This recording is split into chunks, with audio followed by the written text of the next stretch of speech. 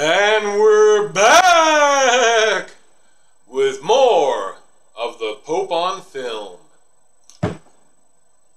It's time, Bunny! This is a new intro because it's not Act 3, so I'm workshopping it. It's time once again for all of us here at the Pope on Film podcast to casually saunter our way into finally, uh, in eventually getting around to discussing our all natural lemon scented, extra strength, low fat, non GMO, and now available without a prescription movie of the week.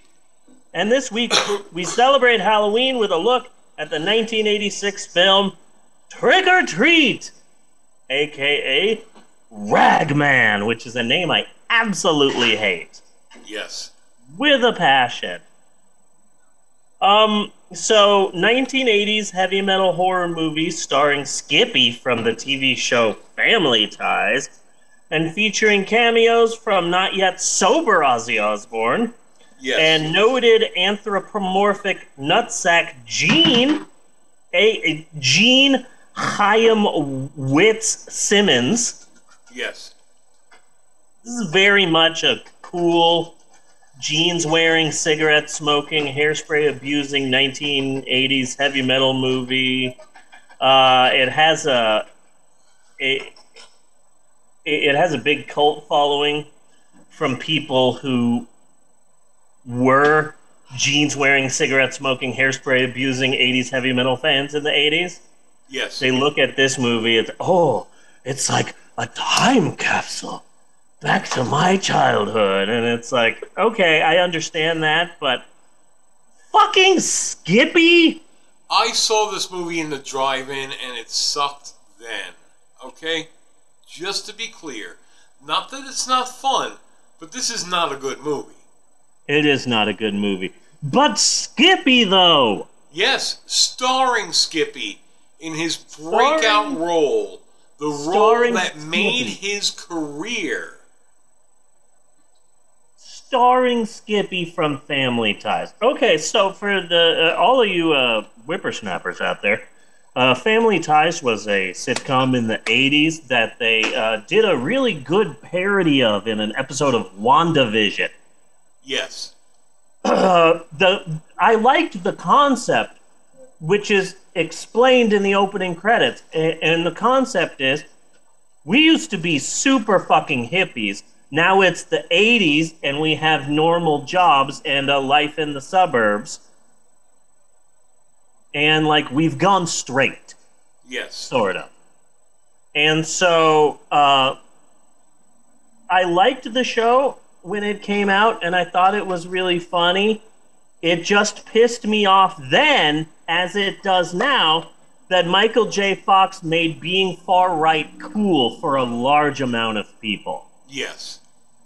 I un- I liked his concept that if you are born into a family of left-leaning former pot-smoking hippies from the 60s and you're going to rebel against your parents, yeah, you're going to become a fucking Reagan-loving far-right douchebag Yeah. who wears ties all the time. Like I get that. Which was But- hysterically funny. But but the problem is is that like the the right doesn't understand jokes. Yeah. Yeah, the the people from the left thought Michael J. Fox's character was funny. The people from the right didn't realize it was supposed to be funny. Yeah. And they took Yeah. it seriously. Yeah, I get that. So Skippy was the nerd friend in Family Ties. Yes. Um, the actor is now a cable TV writer and producer. He works for Disney Channel and uh, the Game Show Network. oh, good for him. Good for him. He's getting work. Good He's for getting him. work. Yeah, exactly. He's working. He's still in the business. You never know when Skippy's gonna. You, you can't hold Skippy down. I am. I, I, I'm glad you said that. I thought he was somewhere naked in a bush somewhere, No. drinking But- Mad Dog. But since we're talking about shrubbery. No, but since we're talking about this, I'm gonna tie my wife into this slightly. Um, knowing that Skippy is now a successful cable TV writer and producer makes me happy. Um, it took a many years to watch episodes of Supernatural and not say, you know, that guy was Booger in a sitcom in the 80s. it took a long time for me not to be able to say that about what's his nuts. really? Um, also, I knew that he was. I don't know who you were trying to tell. I just it, it, that's just a fact that I have to say. I feel that a lot of Supernatural fans are just know him as that character from Supernatural. Mm, not the older ones, the younger ones probably. The younger ones, yeah. But, um, oh, and then another fun fact about Yeah. the whole thing that's going on with uh, Baldwin. Yes, Alec Baldwin shot and killed someone, but it's not really his fault. a lot of people a lot of people on the far right are saying Alec Baldwin should go to prison and it's like wait a second you think that that kid that killed three people during a Black Lives rally Black Lives Matter rally shouldn't go to jail but Alec Baldwin accidentally discharged a firearm and now that he's a left leaning actor you're like oh throw him in jail and throw away the key Yeah. it just pisses me off the whole thing pisses me off but what were you saying oh, Well, personally, I am, I am, I am staying neutral on this topic until we get all the fucking facts. Yeah, no, absolutely. I agree with you there. I've been reading a lot of Twitter threads, even including one from uh, an armorer who, uh, an on-set armorer, not for this specific film, but explained all of the safety pro- protocols that they have, that they have to keep. Um, anyways, but the thing is, is that the actor who played Funboy, who ended up being the one who killed Brandon Lee, Yeah. was also in Supernatural with Jensen Ackles, who is in Rust with Alec Baldwin. And just to tie that even further in, the fun boy character that he played in the movie was played by Ty Olsson in the show, who played two different parts on Supernatural. You would have been really, Everything goes back to Supernatural eventually. You would have been really good at um, Seven, Kevin Bacon. seven degrees. Seven degrees of Kevin Bacon. Hold on, honey. I'm going to skip to near the end of my discussion to mention something. Funny. The director of this is Charles Martin Smith. He's also an actor, and you. He he has he he's like a character actor. He's had a bunch of small parts in a bunch of different things. Yeah. Um, he was in American Graffiti, The Untouchables, Starman, X Files. He's one of those actors where Yeah. it's like I say Charles Martin Smith, you have no idea who the fuck I'm talking about. no, but, but, if you but you said American Graffiti, and I was like, God damn it, that was Toad. I thought it was Toad. Yeah, so like if you Bing him and you see his face, you go, yeah, it's that one guy. He was also in an episode of Leverage, which uh my which is my wife's new obsession. Um, maybe My my wife's recent obsession. it's kind of an ongoing Charles thing. Martin attacked myself with a candy bucket. Smith. Okay, so it's that guy. Oh, I've seen him in a yeah. bajillion different movies, and uh, he- yeah, he he was in an episode of. Leverage. Yeah, um, that's the episode where he's a banker, and I recently just watched that episode. Actually, There you go. Boom! I knew you could you could uh, tie it all together. Yeah, Always. Oh, and Psych. yeah. He was did in an. Psych? He was the mayor. Oh, okay. Yeah, I remembered that one. He was the mayor. Yeah. He was No, also- um, I actually had a dream last night about.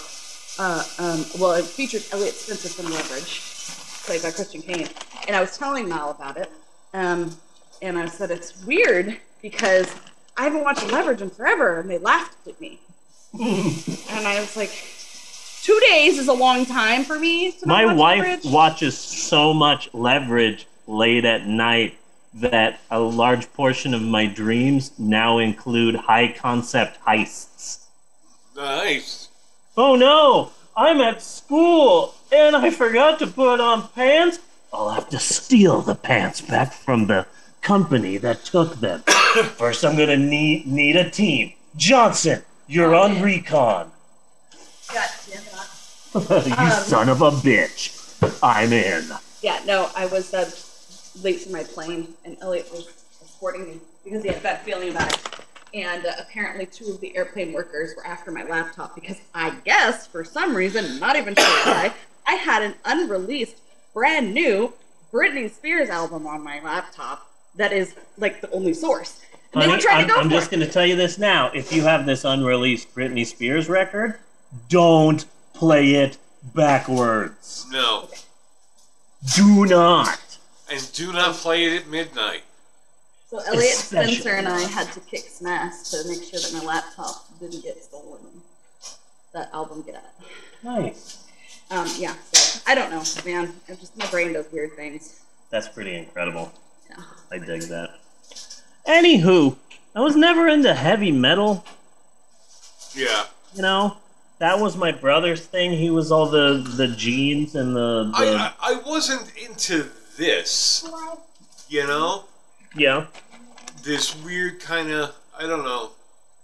But but if we're counting Led Zeppelin as heavy metal, if we're Hmm. counting Black Sabbath as heavy metal, That's yeah, a good point. because that was good and interesting music. But like, but like, this is more hair bandish, Yeah. and I I, I was not a hair band person. Yeah. Um. Yeah, I, I, know wasn't all really. the music because I was stuck in that time period. Yeah. I, I, I was never that much into heavy metal music growing up. To be clear, when this movie came out, I was only four years old. As far as any of you listening or watching this know. Uh, but I did, I, I did feel a small ting, a small ping of excitement when I saw that one of his millions of uh, posters was Anthrax. Yeah, I liked that. I was a big uh, I, I I was a big fan of Anthrax when I there I had an Anthrax period. yeah, Their Among the Living album was awesome, especially when I learned that the song Among the Living is literally just them recounting the plot of Stephen King's The Stand. really. Yeah. Yeah, their yeah, their song Among the Living, Among the Living Follow Me or Die. Like disease, disease, spreading the disease. Yeah. Something something Captain Trips. Yeah, it, it's they literally just read the stand and said, "This would be a kick-ass metal song." And that's it. Cool. So, I liked Anthrax, but I but I I do love 80s heavy metal though. And let me tell you why. Um all of these young predominantly white kids used heavy metal to proclaim their masculinity. Yeah, And they're like, "Hey, what's up? I'm going to get drunk and take off my shirt and just party my ass. I am heterosexual. Man, let me just put on my leather jacket, my makeup, do my hair, put on my lipstick, put on my studded bracelet, my studded necklace, and start moshing. And if you don't know what that is, it's a bunch of shirtless guys slamming their sweaty bodies together. Oh, yeah. I love being a heterosexual male.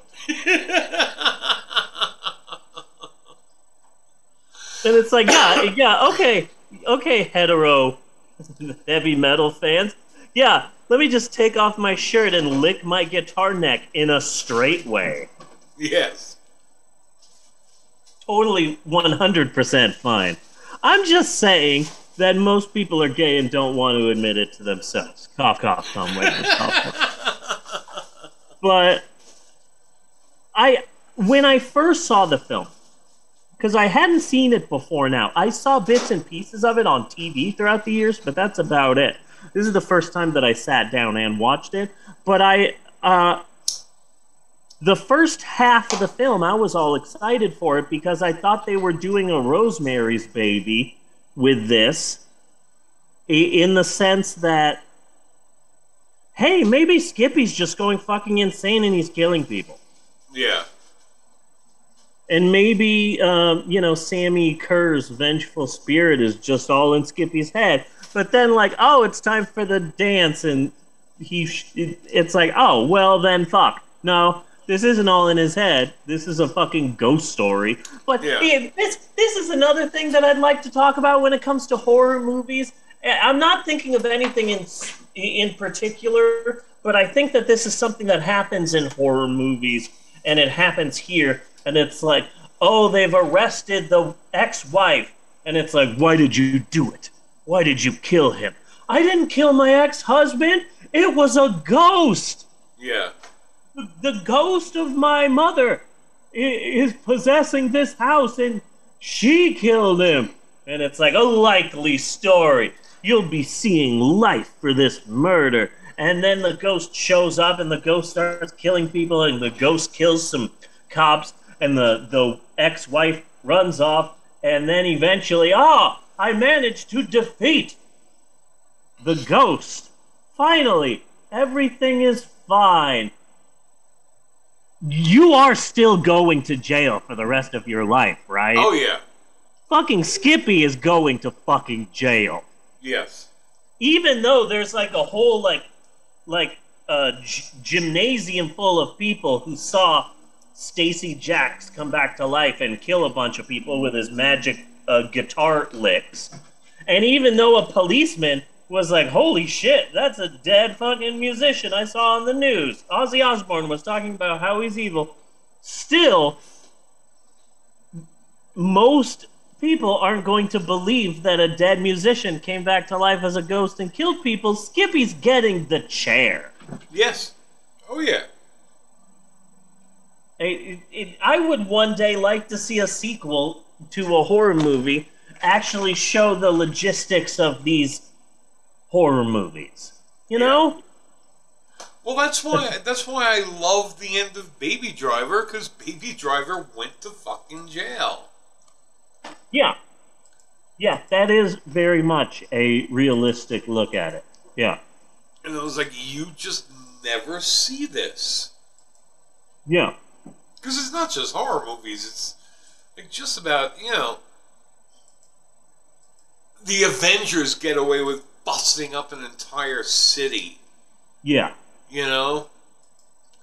And there's no consequences for that, really. Yeah. And it's like, oh, we've finally defeated the ancient evil. Yeah, but eventually the police are going to come a knocking and someone's going to jail. Yeah. And they're not going to believe that I didn't kill these people. It was the vengeful ghost. And it's like, no, fuck off. Like, you're going to jail for a really long time. Any It's a- any action movie Yeah. as well. Yeah. Uh, A good chunk of romantic comedies. For different reasons.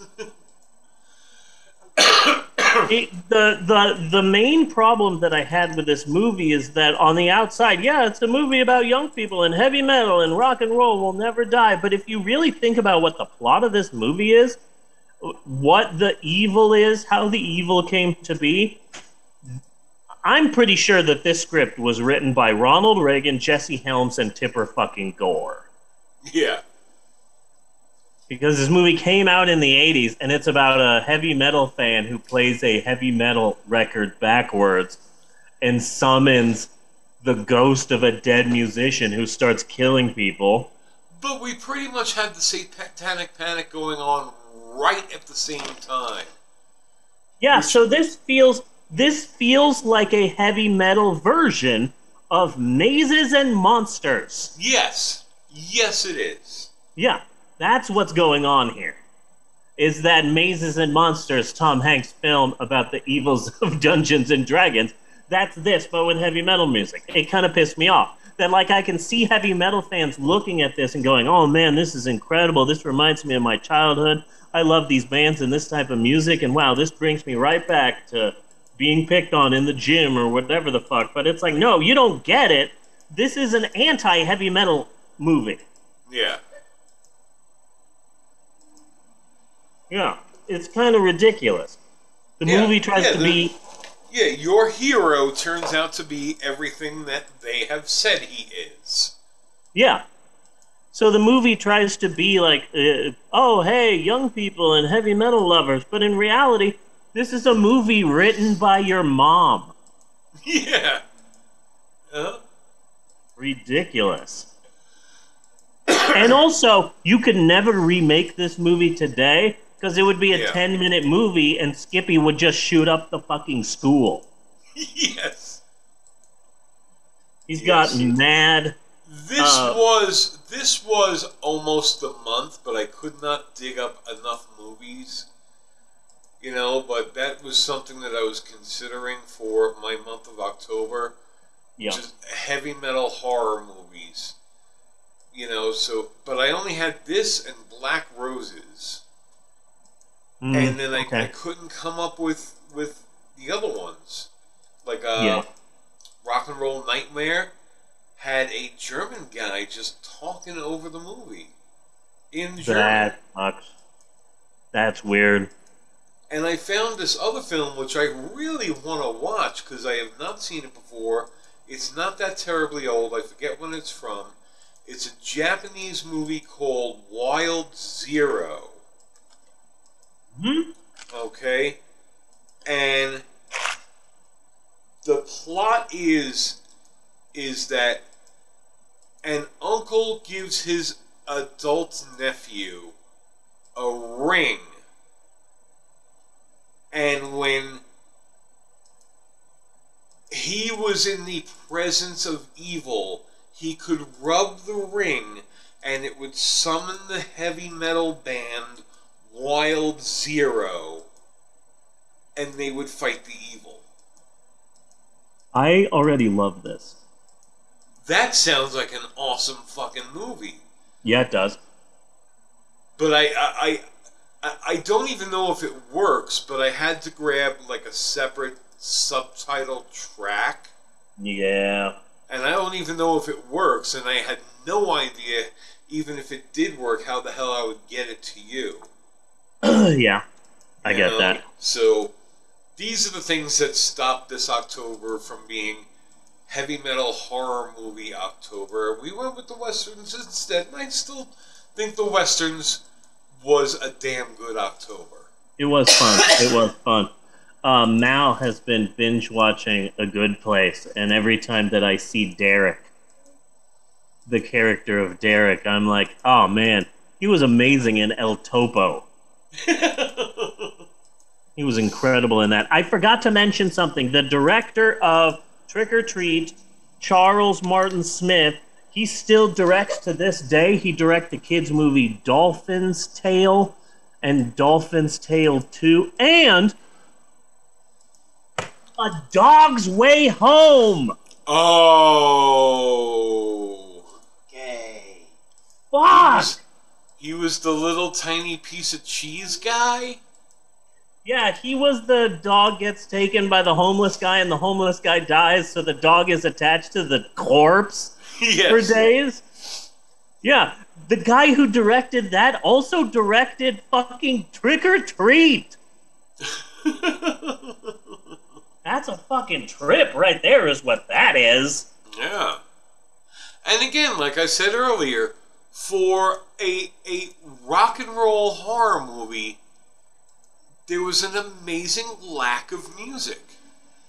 And then, like, okay, so you would think if you're making a a, a heavy metal horror movie, okay, get Scorpion, get Wasp, get Stinger, get uh, Motley Crue, get Judas Priest, get like you can have an insanely wonderful soundtrack.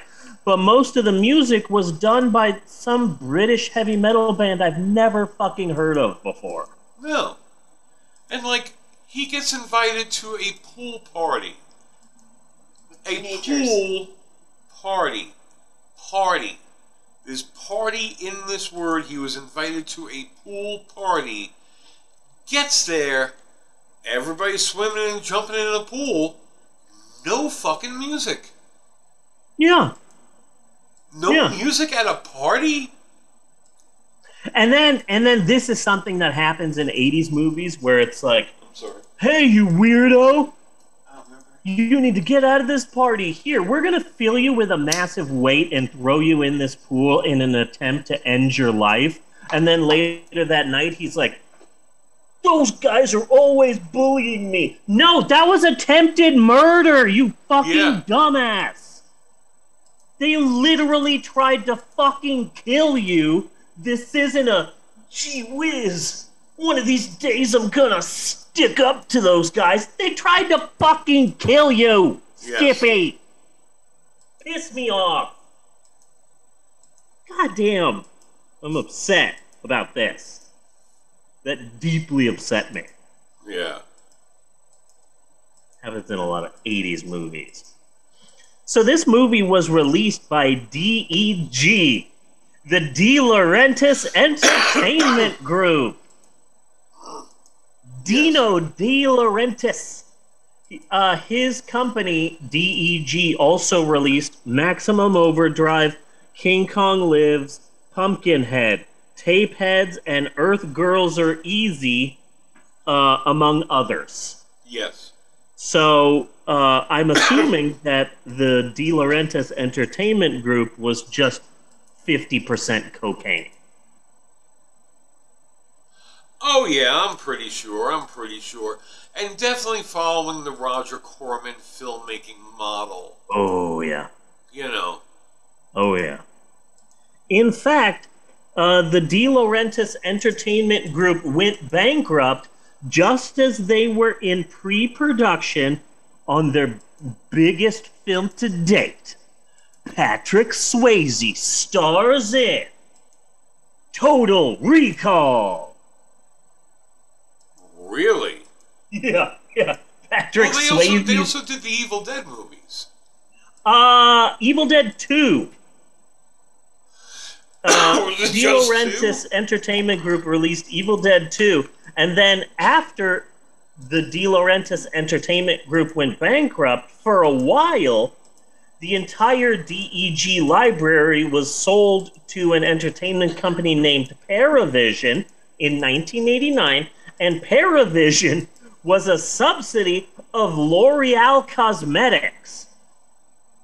So, Okay. to be clear, there's a lot of Evil Dead fans out there, but no one's talking about the fact that for a time, Maybelline owned Evil Dead 2. Nice. I think that's something that more people should be talking about. Yeah. Fucking Maybelline. Maybe it's the undead. Maybe it's Maybelline. But yeah, uh, Skippy the Ragman. Skippy the Rat. Ragman. That's my. If I ever really get into Dungeons and Dragons, that's my character name. Yeah. Skippy the Ragman. I'm a traveling bard and part-time and part-time amateur proctologist. Yes. That's my character. Figured it out. So that's all I've got for this week's movie. You got anything else, Bunny? Uh. I forgot. If if you accept that it's a bad movie and it's really stupid, it is fun. yeah. It's a it's a Uh, fun watch if you can if you can ignore or embrace a lot of the stupidity that you're seeing. Yeah, the first time I saw it, I'm like, this is a pretty bad movie. I this is this is pretty bad. This is pretty shit. But by the time I'm watching it a second time or a third time, I'm like, okay, this is dumb fun. Yeah. Yeah. Uh, so yeah, it it it was dumb, but in a really fun way. yeah. Yes, it was. Uh, that's really all I have about to say about it. I think. Okay. I remember his mom was really big at the time. She did a lot of fucking game shows and shit. She was in Motel Hell. Was she in Motel Hell? Yes, I haven't seen that in forever. And I thought about doing it next week because uh, you're doing a Halloween movie and I'm doing a Halloween movie. And so I was trying to figure out what movie to do. And at first I was thinking Halloween 3, but I am really fucking Halloweened out. Yeah.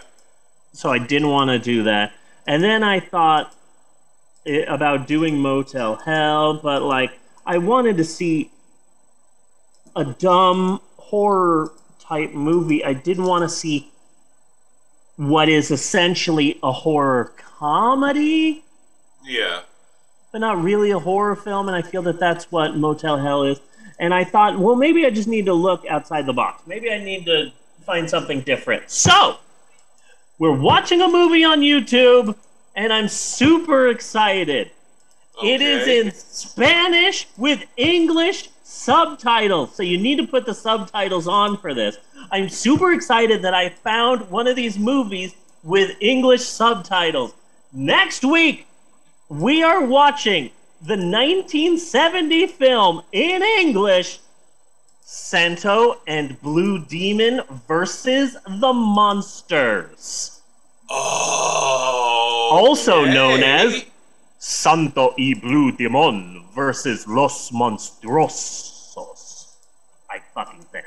But I found it with English subtitles on YouTube, and it's in high quality. So next week, Santo and Blue Demon versus the monsters, and it's got all of them. It's got the mummy, it's got Frankenstein. It might have a Blackula, I don't remember, but I haven't seen it in the longest time, and I never saw it in a way that I could understand it. But Didn't we do that on the show previous? I mean, not We- with the subtitles. no, With the yeah, subtitles. we we did uh, El Santo versus the Martians. Okay. It, versus it, El Santo and the Invaders from Mars is what it was called, and we did not. We I couldn't find it in English, but we just watched it, and it was a bunch of fun, and I really dug that. Yeah. But yeah, we're doing another Santo movie, but this one's in color. It's in the 70s. I think El Santo's pushing like 50 in this, so he is getting older. Okay. So it's a different part in Santo's life. And plus, we got Blue Demon in this, his uh, arch rival slash best friend. Yes. I think this is the movie where they're there in like in like sport coats playing chess together. You know, Really? while while sipping a drink, just playing chess with their freaking masks on. Yeah, I'm, I'm really excited to do another El Santo movie. Okay, cool. That sounds like fun. Yes. So next week, I'll send you the link uh, as soon as we're off. Uh, so next week, we're doing a 1970 El Santo movie, which I'm really excited about. Also, next week, we're going to be discussing uh, Shang-Chi some more. And uh, we, I will be watching the new Dune movie, which everyone says, oh my God, it's the best. Uh, and I may or may not drive an insane um, way away to see another film. But uh, yeah, but that's next week. So join us next week uh, for for more of the Pope on film. But now I'm looking back at this one. Shorter show, new format. Halloween Kills. Ron Ron's gone wrong. Professional dogfighting. Uh, the Macy's Thanksgiving Day Parade. The Ragman. And how heavy metal music is so heterosexual. I gotta say, I think that this has been a pretty good new episode of the podcast. This has I- been a damn good episode.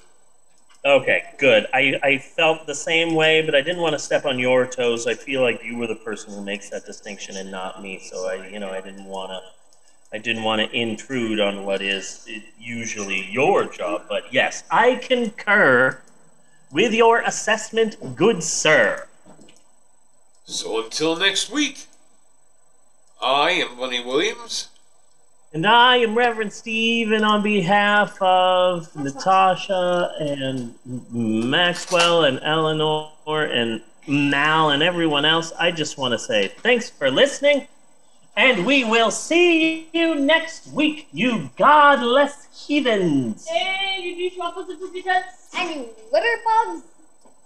Litter bugs are creatures that. Yes, Eleanor? And your kitties.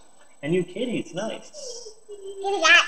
Do do do do do do do do do do. Do do do do do do do do. Skitty pop do wow. Cut and print. And put on cookie. Nice. High five, Eleanor. There you go. eating. Cut and print.